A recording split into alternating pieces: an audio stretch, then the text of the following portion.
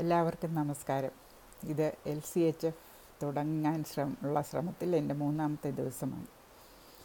ഇന്ന് ഞാൻ യാതൊരു മരുന്നുമില്ലാതെയാണ് ഇരിക്കുന്നത്. അതൊരു ആകസ്മികമായ സംഭവമാണ്. കാരണം ഈ L C H F community എന്നോട് ഇൻസുലിൻ വിട്ട് കളയാൻ പറയുന്നുണ്ടെങ്കിലും വിടാൻ എനിക്ക് മടിയായിരുന്നു. കാരണം എനിക്കിനി രണ്ട് ദിവസം കൂടെ മരുന്ന് കഞ്ഞിയുണ്ട്. അതൊക്കെ സ്റ്റാർച്ചാണ്. യാതൊരു ഇൻസുലിനും ഇല്ലാതെ എന്റെ ശരീരത്തിൽ സ്റ്റാർച്ച് ചെന്നാൽ എങ്ങനെ ഇരിക്കും എന്ന് എനിക്ക് വലിയ നിശ്ചയമില്ല. എന്നാൽ ഇന്നലെ രാത്രി ഞാൻ കുത്തിവെക്കുന്ന സമയം കുറച്ച് താമസിച്ചു പോയി. പതിനൊന്ന് അമ്പതൊക്കെ ആയി. അപ്പോൾ ഞാൻ നോക്കിയപ്പോൾ എന്റെ ഇൻസുലിൻ പെന്നിൽ ഒരു യൂണിറ്റ് ഇൻസുലിൻ പോലുമില്ല. പിന്നെ അത് ഫ്രിഡ്ജിൽ നിന്നെടുത്ത് പുറത്ത് വെച്ച് അത് തണുപ്പ് മാറി കിട്ടണമെങ്കിൽ കുറേ നേരമാകുമല്ലോ എന്ന് വെച്ചിട്ട് ഞാൻ ആ ഇൻസുലിൻ അങ്ങ് നിർത്തി. ഇൻസുലിൻ നിർത്തി. ഇന്നലെ കുത്തിവെച്ചില്ല നിർത്തി എന്ന് പൂർണമായിട്ട് പറയാനൊക്കത്തില്ല. ഇന്ന് എന്റെ ശരീരം എങ്ങനെ ഇതിനോടൊക്കെ പ്രതികരിക്കുന്നു? കഴിയുന്നത്ര സ്റ്റാർച്ചുകളും ഷുഗറുകളും കാർബോഹൈഡ്രേറ്റ്സും ഒക്കെ ഇല്ലാതെ ഇന്നത്തെ ദിവസം കഴിച്ച് നീക്കണം എന്നെനിക്ക് ആഗ്രഹമുണ്ട്. അങ്ങനെ കഴിച്ച് നീക്കിയിട്ട് എന്റെ ബ്ലഡ് ഷുഗറൊക്കെ എങ്ങനെയാകും എന്നാണ് എനിക്കിന്ന് കണ്ട് മനസ്സിലാക്കാനുള്ളത്. ഞാൻ ധാരാളം ഇൻസുലിൻ ടെസ്റ്റിംഗ് സ്ട്രിപ്സൊക്കെ വാങ്ങിച്ച് വെച്ചിട്ടുണ്ട്. അതുകൊണ്ട് എങ്ങനെയൊക്കെ ഇത് പോകുന്നു എന്ന് എനിക്ക് കണ്ടുപിടിക്കാൻ പറ്റും. അത്യാവശ്യം വന്നാൽ വേറെ ഗുളികകളുണ്ട്. ഇൻസുലിന് പകരം എനിക്കത് കഴിച്ച് നോക്കാമെന്ന് ഞാൻ വിചാരിക്കുന്നു. അതുകൊണ്ട് ഈ ട്രപ്പീസിൽ ചാടുന്നവർ അടിയിലൊരു വല കെട്ടുന്നത് പോലെ ഒരു സഫീഷ്യന്റ് പ്രിക്കോഷൻസ് ഒക്കെ എടുത്തിട്ടാണ് ഞാൻ ഇരിക്കുന്നത്. എന്റെ ഇൻസുലിന്റെ കാട്രിജ് ഞാൻ രാവിലെ എടുത്ത് പുറത്ത് വെച്ചിട്ടുമുണ്ട്. പിന്നെ പറയാൻ വരുന്നത് ഇന്നലത്തെ ദിവസത്തെ എന്റെ ഡയറ്റ് മിക്കവാറും മിനിഞ്ഞാന്നത്തേതുപോലെ തന്നെയാണ് കഴിഞ്ഞത്. അതിന്റെ കൂടെ ഞാൻ കിടക്കാൻ പോകുന്ന സമയമൊക്കെ ആയപ്പോൾ ഒമ്പത് മണി കഴിഞ്ഞിട്ട് ഞാനൊരു കഷ്ണം മാങ്ങ തിന്നു. മാങ്ങ തിന്നു. മാങ്ങ തിന്നു കഴിഞ്ഞ് പത്ത് പത്തര ആയപ്പോൾ ഏതാണ്ട് ഒന്നര മണിക്കൂർ കഴിഞ്ഞപ്പോൾ എന്റെ ഷുഗർ നൂറ്റി എൺപതായിരുന്നു. എന്നിട്ട് ഞാൻ ഇൻസുലിൻ നോക്കിയപ്പോൾ ഇൻസുലിൻ ഇല്ല കുത്തിവെച്ചില്ല. ഇന്നത്തെ ഫാസ്റ്റിംഗ് ഇൻസുലിൻ നൂറ്റി പന്ത്രണ്ട് നൂറ്റി പന്ത്രണ്ട് പെർമിസിബിൾ പുതിയ ഡയബറ്റിക് നോംസ് അനുസരിച്ച് നൂറ്റി മുപ്പത് വരെ ഒരു ഡയബറ്റിക് പേഷ്യന്റിന് ഫാസ്റ്റിംഗ് ഷുഗർ ആവാം എന്നുള്ളതാണ്. അപ്പോൾ ഇപ്പോൾ എനിക്ക് ഇതിനെക്കുറിച്ച് വലിയ കൺസേൺ ഉണ്ടാകേണ്ട ആവശ്യമില്ല. രണ്ടാമത്തെ കാര്യം ഞാൻ പല കാര്യങ്ങളും കഴിഞ്ഞ വീഡിയോയിൽ തെറ്റിച്ചും പറയുകയും പറയാൻ വിട്ടു പോവുകയും ചെയ്തു അതിലൊന്നാമത്തെ കാര്യം ഞാനൊരു ബഹുമാന്യ അദ്ദേഹത്തിന്റെ കാര്യം പറഞ്ഞു. അദ്ദേഹത്തിന്റെ വീഡിയോകളിൽ നിന്ന് പ്രചോദനം ഉൾക്കൊണ്ടാണ് ഞാൻ ഈ എൽ സി എച്ച് എഫ് തുടങ്ങിയതെന്ന്. ആ അദ്ദേഹത്തിന്റെ പേര് ഞാൻ അബ്ദുൾ റഹ്മാൻ എന്നാണ് പറഞ്ഞത്. അദ്ദേഹത്തിന്റെ പേര് അബ്ദുൾ റഹ്മാൻ എന്നല്ല ഹബീബ് റഹ്മാൻ എന്നാണ്. അദ്ദേഹത്തിന്റെ വീഡിയോകൾ ഇടുന്നത് അദ്ദേഹമല്ല. അത് വേറെ രണ്ട് പേര്. അദ്ദേഹത്തിന്റെ സമ്മതത്തോടെ അദ്ദേഹത്തിന്റെ ആവശ്യപ്രകാരമല്ലെങ്കിലും അദ്ദേഹത്തിന്റെ സമ്മതത്തോടെ ഇത് ബാക്കിയുള്ളവർക്ക് ഉപകാരമാകുമല്ലോ എന്ന് വെച്ചാണ് വീഡിയോ ഇടുന്നത് എന്നാണ് ഞാൻ മനസ്സിലാക്കിയത്. ആ വീഡിയോകളിൽ ഒരുപാട് പേരുടെ അനുഭവ സാക്ഷ്യങ്ങളും ചില റെസിപ്പീസും ഒക്കെ ഉണ്ട്.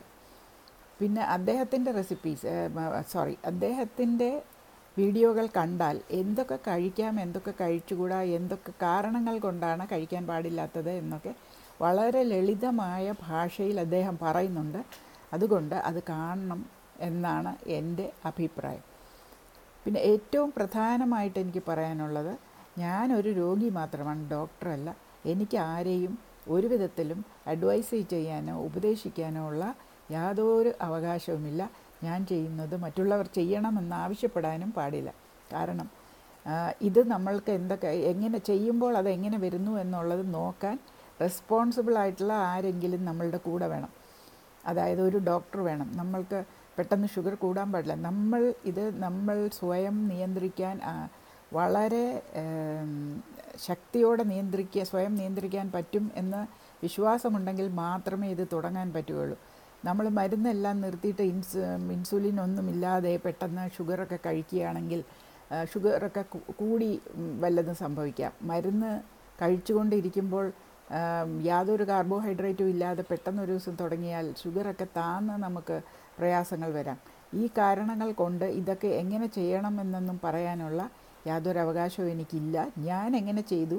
എനിക്കെന്ത് പറ്റി എന്നാണ് ഞാൻ പറയുന്നത്.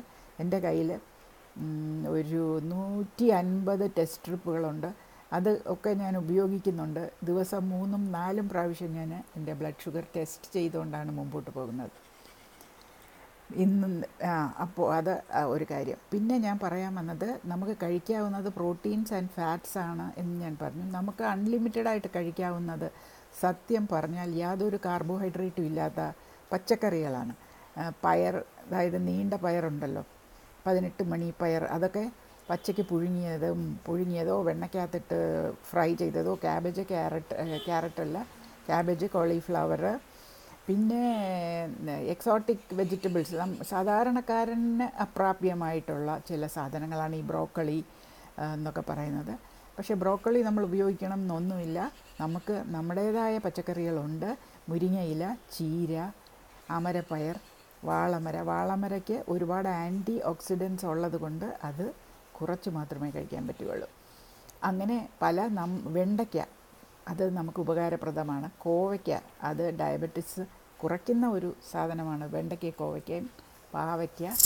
ഇങ്ങനെ പല മറ്റുള്ള സബ്സ്റ്റിറ്റ്യൂട്ട് നമുക്കുണ്ട്. അതിനെക്കുറിച്ചൊന്നും വീഡിയോകളില്ല. കാരണം അതിനെക്കുറിച്ചൊന്നും ആരും അധികം പഠിച്ചിട്ടില്ല. ചക്ക പച്ച ചക്കയാണെങ്കിലും അതിൽ നല്ല സ്റ്റാർച്ച് കണ്ടന്റ് ഉണ്ട്. ചോറിന് സബ്സ്റ്റിറ്റ്യൂട്ട് എന്ന് പറഞ്ഞ് ചക്കയെക്കുറിച്ച് പറയുന്നെങ്കിലും അത് ചോറിലുള്ളതിന്റെ അത്രയും അന്നജം ഇല്ലാത്തതുകൊണ്ട് നമ്മൾ ഒരു കപ്പ് ചോറിന് പകരം ഒരു കപ്പ് പച്ചച്ചക്ക കൂട്ടാൻ വെച്ചത് കഴിച്ചാൽ നമ്മുടെ ഷുഗർ ചോറുണ്ടതിനേക്കാളും കുറവേ കൂടുകയുള്ളൂ എന്നുള്ളതാണ്. അതുകൊണ്ട് ചക്കയുടെ ഉപയോഗം നമ്മുടെ ശരീരം എങ്ങനെ പ്രതി അതിന് പ്രതികരിക്കുന്നു എന്നുള്ളത് അറിഞ്ഞിട്ട് മാത്രമേ ചെയ്യാൻ പാടുള്ളൂ. ഇതാണ് ഞാൻ പറയാൻ വന്ന ഒന്നാമത്തെ കാര്യം. രണ്ടാമത്തെ കാര്യം കൊഴുപ്പ് നമുക്ക് കഴിക്കാം. കൊഴുപ്പില്ലാതെ പറ്റുകയില്ല. കാരണം നമ്മളുടെ നമ്മൾ കാർബോഹൈഡ്രേറ്റ്സ് റെസ്ട്രിക്റ്റ് ചെയ്തു.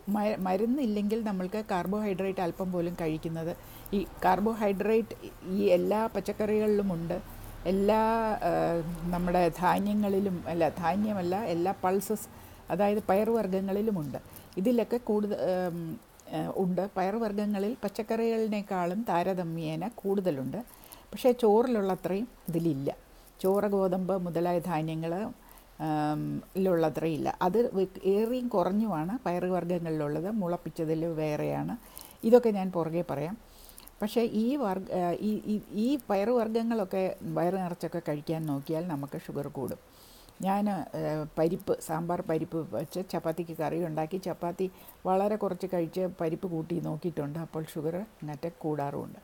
അത് അത് നമ്മൾ മനസ്സിലാക്കണം. അതുപോലെ വേവ് അനുസരിച്ച് നമ്മളുടെ ബോഡി പെട്ടെന്നാണോ വേ സാവധാനത്തിലാണോ അബ്സോർബ് ചെയ്യുന്നത് മുളപ്പിച്ചതാണോ അല്ലയോ ഇതൊക്കെ പ്രധാനപ്പെട്ട കാര്യങ്ങളാണ്. അപ്പോൾ നമുക്ക് സേഫായിട്ട് കഴിക്കാവുന്നത് ഫാറ്റ്സും വെജിറ്റബിൾസുമാണ്. പയർവർഗങ്ങൾ അത്ര സേഫല്ല. പിന്നെ അരി ഗോതമ്പ് മുതലായവയെ ഓട്സ് കോൺഫ്ലേക്സൊക്കെ പൂർണമായിട്ട് അവോയ്ഡ് ചെയ്യണം. പിന്നെ ഞാൻ പറയാൻ വന്ന അപ്പോൾ ഇത് ഞാൻ പറഞ്ഞു.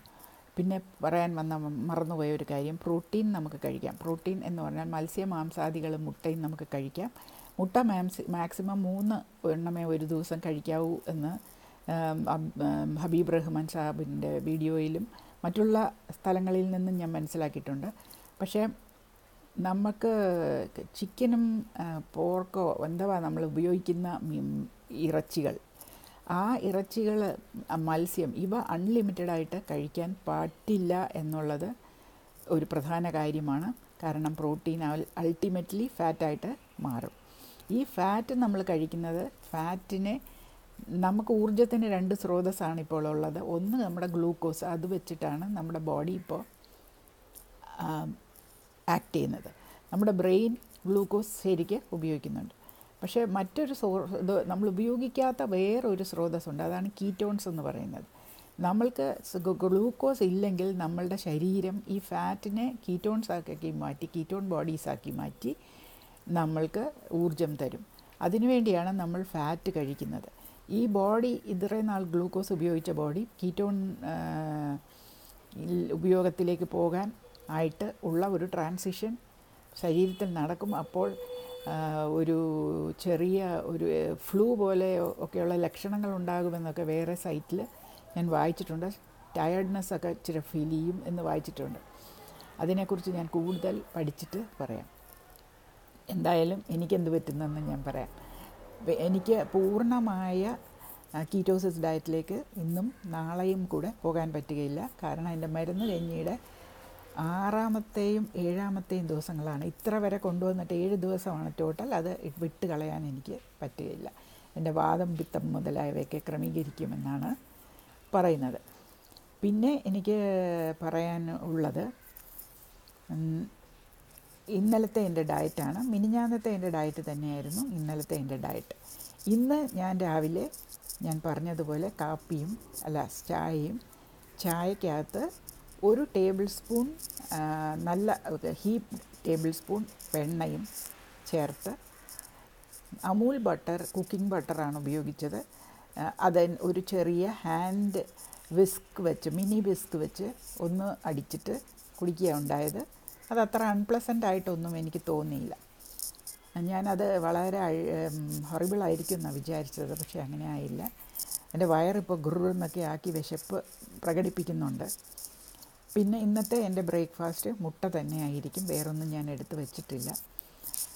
ലഞ്ചിന് എന്റെ അരി അരിവർഗങ്ങളെല്ലാം നിർത്തേണ്ടി വരും. എന്റെ വീട്ടിൽ ഈ കുറ്റിപ്പയർ എന്നൊക്കെ പറമ്പിൽ നിന്ന് പഠിച്ച പറിച്ച കുറ്റിപ്പയറിന്റെ ഇളം പയറുകളുണ്ട്.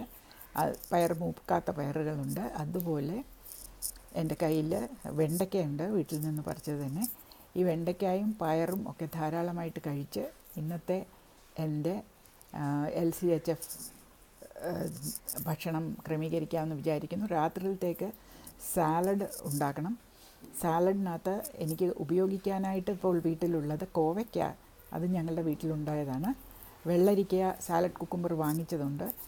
ടൊമാറ്റോ എനിക്ക് പേ അല്പ ഭയമുണ്ട് കാരണം ടൊമാറ്റോ ആസിഡിറ്റി ഉള്ളവർക്ക് പറ്റിയതല്ല ഗജേർഡ് ഉള്ളവർക്ക് അതായത് ആസിഡ് റിഫ്ലക്സ് ഉള്ളവർക്ക് ഗ്യാസ്ട്രോ ഈസോഫാഗൽ റിഫ്ലക്സ് ഡിസീസ് ഉള്ളവർക്ക് അത് റിഫ്ലക്സ് ഉണ്ടാക്കും എന്നൊക്കെ പറയുന്നത് കൊണ്ട് അത് ഞാൻ ഉപയോഗിക്കുക എങ്ങനെയാണ് രാത്രിയിൽ കഞ്ഞി കുടിക്കണമല്ലോ? അപ്പോൾ ഈ സാലഡ് ഇന്ന് ഏതെങ്കിലും നേരത്ത് നാല് മണിക്കോ വല്ലതും കഴിക്കാമെന്ന് വിചാരിക്കുന്നു.